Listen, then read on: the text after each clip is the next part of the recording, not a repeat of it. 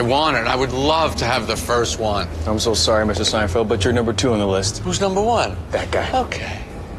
So you're number one. How'd you like to be number 20? No. I'll throw in the soup Nazi. Soup for you. Last living munchkin. I thought he passed away. I found another one.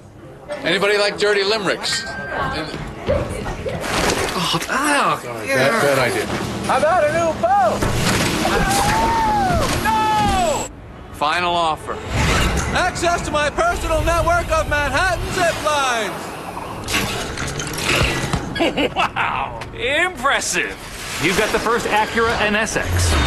How about a jetpack flying squirrel suit? Sorry, Trey.